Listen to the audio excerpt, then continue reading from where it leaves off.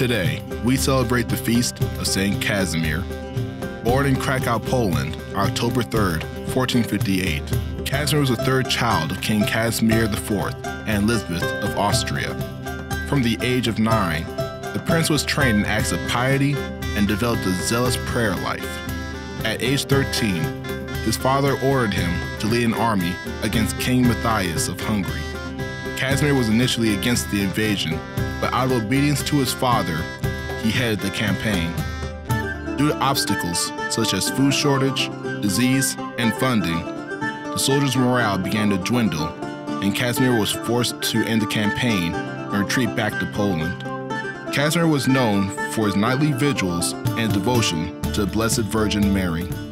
Casimir died of lung disease on March 4, 1484, and was buried at Vilnius, Lithuania, where his tomb became famed for miracles.